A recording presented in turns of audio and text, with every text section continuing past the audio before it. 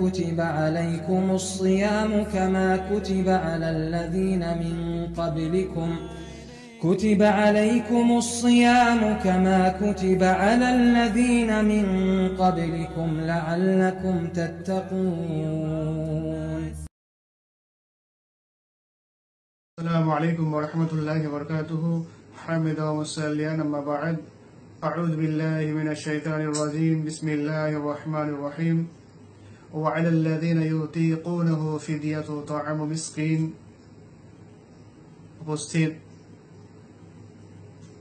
সম্মানিত তিনি ভাই বন্ধুরা আজ আমি আপনাদের সম্মুখে পবিত্র মাহে রমজানের যে ধারাবাহিক আলোচনা সেই আলোচনার পর্বে আজ যে বিষয়টি আলোচনা করব সেটা হচ্ছে বৃদ্ধ পুরুষ বা বৃদ্ধা মহিলার সিয়াম সঙ্গে সঙ্গে গর্ভবতী বা দুধ পানকারী মহিলার সিয়াম সম্পর্কে।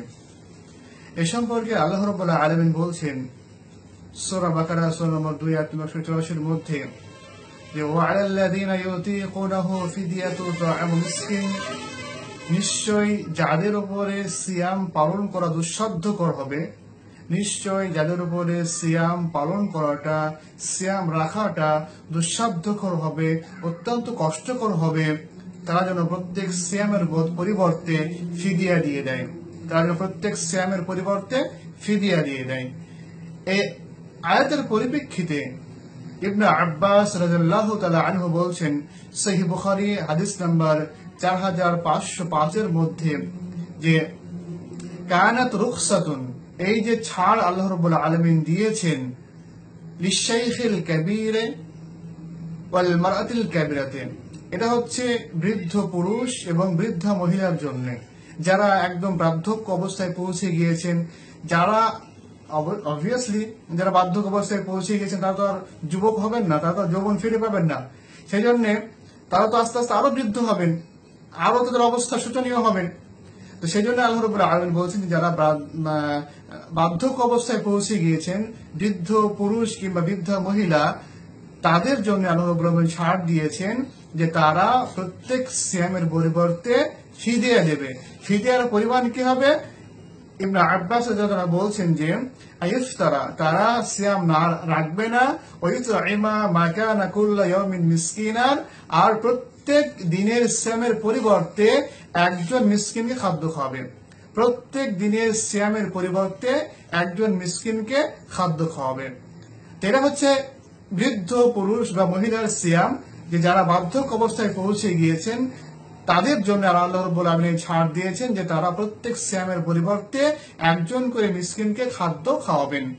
এটা মিসকিন খাদ্য খাওয়ানো হতে পারে যে আপনি মিসকিনকে, যারা দরিদ্র ব্যক্তি, তাদেরকে বাড়িতে নিয়ে এসে প্রত্যেক সিয়ামের পরিবর্তে একজন করে ব্যক্তিকে খাওয়া, খাইয়ে দিলেন, অথবা একই দিনে আপনার যতটা সিয়াম কাজা হয়েছে, ত্রিশটা, আপনি সেই একই দিনে ত্রিশ জন মিসকিন খাদ্য খাইয়ে দিলেন, অথবা প্রত্যেকটা সিয়ামের পরিবর্তে অর্থাৎ সবা কেজি, এক কেজি আড়াইশো গ্রাম চাল বা খাদ্যদ্রব্য কোন মিসকিনকে দিয়ে দিলেন।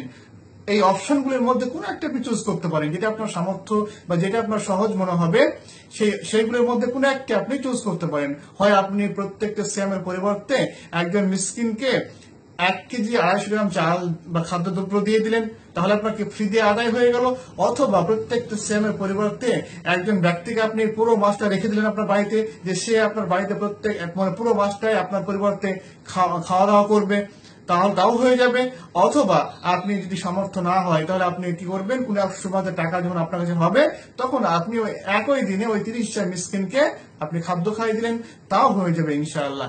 তাও হয়ে যাবে ইনশাআল্লাহ। তো এটা হলো বৃদ্ধ বা বার্ধক্য অবস্থায় পৌঁছে গিয়েছে এমন পুরুষ বা মহিলার সিয়াম সম্পর্কে শরীয়তের বিধান। এবার যারা গর্ভবতী মহিলা বা দুধ পানকারী মহিলা, যারা তাদের সন্তানকে দুধ পান করাচ্ছেন, তাদের বিধান কি?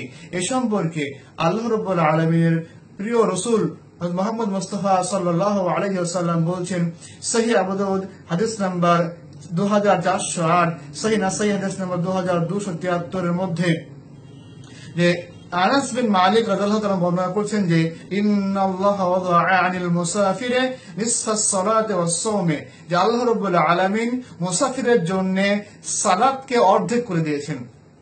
আল্লাহ রবুল্লাহ আলমিন মুসাফিরের জন্য সালাদকে অর্ধেক করে দিয়েছেন। অর্থাৎ যেগুলি চার রেখাত বিশিষ্ট সালাদ সেইগুলিকে দুই রেখাত আদায় করবে। যেরকম ভাবে জোহর, আসর, মাগরিব সরি, জোহর, আসর আর ঈশা, এগুলি চার রেখাত বিশিষ্ট সালাদ তো এগুলিকে দুই দুই রেখাত করে সফর অবস্থায় সালাত আদায় করবে। অসমে অনুরূপভাবে সফর অবস্থায় আল্লাহ রবুল্লাহ আলমিন মুসলিমদের জন্য অপশনাল করে দিয়েছেন। যদি সে সফরে সফরে বেরিয়েছে, সে তার সফর অবস্থায় সিয়াম পালন করা দুঃসাধ্যকর হয়ে যাচ্ছে কষ্টকর হয়ে যাচ্ছে তাহলে সে সিয়াম ভাঙতে পারে সে সিয়াম নাও রাখতে পারে। আর যদি তাকে মনে হয় যে কষ্ট হচ্ছে না সে দিব্যি সিয়াম রাখতে পারবে তাহলে সে সিয়াম রাখতে পারবে। তো এটা তার পূর্ণ স্বাধীনতা আছে। যদি তার অসুবিধা হয় বা তার উপর কোনো কষ্ট হয় তাহলে সে সিয়াম ওই দিনগুলিতে নষ্ট করতে মানে ভাঙতে পারবে। পরবর্তীতে তাকে আবার কাদা করতে হবে। অনুরূপভাবে রসুলাম বলছেন যে আনিল হুবলা ওয়াল মুরদাই অনুরূপভাবে আল্লাহ দু- আহ, গর্ভবতী মহিলা বা দুধ পান করে মহিলার উপরেও সিয়ামকে হালকা করে দিয়েছেন। যদি ওই সমস্ত মহিলা যারা গর্ভবতী অবস্থায় আছেন বা দুধ পান করাচ্ছেন বাচ্চাকে, যদি সেই সমস্ত মহিলারা মনে করেন যে যদি আমি সিয়ামের সিয়ামে থাকি, তাহলে হয়তো আমার সন্তানের ক্ষতি হতে পারে বা আমার ক্ষতি হতে পারে। তো সেক্ষেত্রে ওই মহিলা ওই সিয়ামগুলিকে কাটা করে মানে ওই মাসে সিয়ামগুলিকে ভেঙে অন্য মাসে যখন তার মানে সাধ্য মানে সামর্থ্য হবে, যখন সে সুস্থ হবে বা সন্তান প্রসব হয়ে যাবে বা তার সন্তান বড় হয়ে যাবে, তখন সে ওই সিয়ামগুলিকে কাদা আদায় করবে, তখন সে সিয়ামগুলিকে পালন করবে। এ ব্যাপারে সেই বুখারি হাদিস নাম্বার যেটা আমি আগেই পাঠ করেছি সেই বুখারি হাদিস নাম্বার চার হাজার পাঁচশো পাঁচের এবং বখারি রহিম আলী যে হাদিস নিয়ে এসেছেন, তার আগে কি বলছেন যে ওকাল আয়াতা ইস্তিরু মিনাল মরদে কুল্লিহি যে একজন অসুস্থ ব্যক্তি যে সিয়াম রাখতে পারছে না, সে প্রত্যেক সিয়ামগুলিকেই রমজান মাসে করবে না। এটাকে বলছেন? আতা রহিমারাই বলছেন যে একজন অসুস্থ ব্যক্তি, সে রমজান মাসে সিয়াম যদি তার জন্য অসুস্থ আছে করতে কষ্ট হচ্ছে, তাহলে সে এই মাসে সিয়াম করবে না। সে অন্য মাসে তার, যখন সে সুস্থ হবে সুস্থ দান করবেন, তখন সে অন্য মাসে কাদা উঠিয়ে নেবেন। অনুরূপভাবে বলছেন যে ওকাল হাসান ও ইব্রাহিম ফিল মুরদা ওয়াল আবিল হামিল ইদা খাফাতা আলা আনফুসিহিমা আও ওয়ালাদিহিমা ইফতিরানে সুম্মা ইয়াকদিয়ানে অনুরূপভাবে হাসান রহিমা আলাই ইব্রাহিম রহিমা আলাই তেনারা কি বলছেন অনুরূপভাবে গর্ভবতী মহিলা বা দুধ পান করে, পানকারী মহিলা যারা তাদের আত্মার উপরে বা তাদের সন্তানের ক্ষতির আশঙ্কা করছেন, তো সেই সমস্ত মহিলারা সেই সময় সিয়াম না রেখে যখন সে সন্তান প্রসব করে ফেলবে বা সন্তানের দুধ পান করা শেষ হয়ে যাবে, তখন সে অন্য দিনে সিয়ামগুলোকে কাজা করে নেবে। অনুরূপভাবে তিনি বলছেন যে ওয়াম্মা শাইখ কাবির অনুরূপভাবে যদি বৃদ্ধ পুরুষ, বা, বৃদ্ধা মহিলা হয়, তাহলে যদি সিয়াম রাখতে না পারেন, তাহলে তেনারা সেই সময় সিয়াম না রেখে অন্য মানে সেই সিয়াম না রেখে সেই সিয়ামের পরিবর্তে তারা ফিদিয়া দিয়ে দেবে, অন্য একজন ব্যক্তিকে খাদ্য খাওয়াবে। এগুলি হচ্ছে বার্ধক্য অবস্থায় পৌঁছে যাওয়া পুরুষ অথবা মহিলার সিয়াম যে সে সিয়াম রাখবে না, প্রত্যেকটা সিয়ামের পরিবর্তে একজন করে মিসকিনকে খাদ্য খাওয়াবে।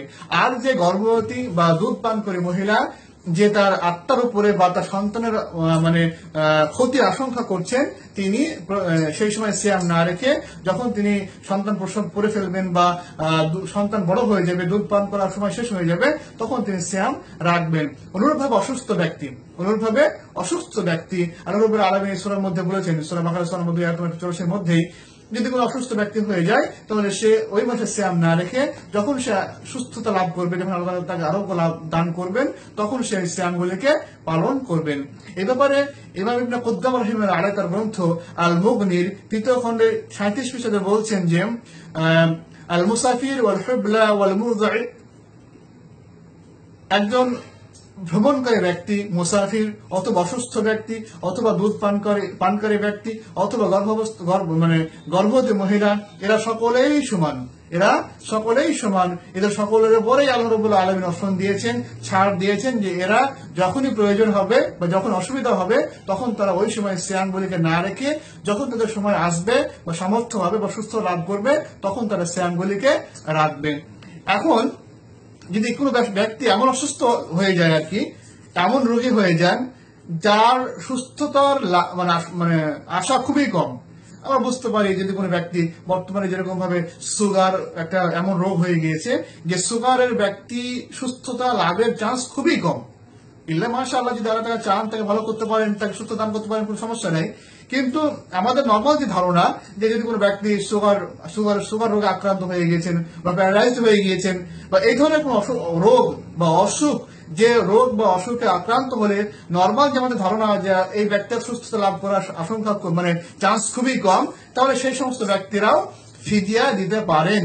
কিন্তু নর্মালি কোনো ব্যক্তি অসুস্থ হয়েছেন, এদের আমাদের আশা আছে যে এই ব্যক্তি ভালো হয়ে যেতে পারেন, তাহলে সেই ব্যক্তি ফিরিয়ে দেবেন না, বরং তিনি অপেক্ষা করবেন এক আধ বছর বা দুই বছর, তারপরেও যদি তিনি সুস্থতা লাভ না করেন, তাহলে তিনি কাজা আদায় না করে ফিরিয়ে দিতে পারেন। কিন্তু প্রথমে এই ধরনের অসুস্থ ব্যক্তি যাদের মানে ভালো চান্স আছে, তারা মানে তৎক্ষণাৎ ফিরিয়ে দেবে না, বরং তারা কাজা, আদায়ের আশা- মানে রাখবে। তারপরে যদি আদায় সুস্থ না দান করেন, তাহলে তারপরে ইনশাল্লাহ সে মানে ফিদা যেতে পারবে ইনশাআল্লাহ তো এগুলি ছিল আহ, রমজান মাসে যারা বৃদ্ধ পুরুষ বা বৃদ্ধা মহিলা বা গর্ভবতী মহিলা বা দুধ পানকারী মহিলা বা অসুস্থ ব্যক্তি তাদের স্যামের বিধান হাজামা আইন্দি আল্লাহ আলম ইসলাম আসসালামু আলাইকুম রহমতুল্লাহ বরকাতুহ يا رسول